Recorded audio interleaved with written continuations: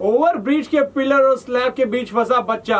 सोन नदी के ऊपर बने नर्सरीगंज दाऊद नगर पुल के एक नंबर पिलर के स्लैब के बीच।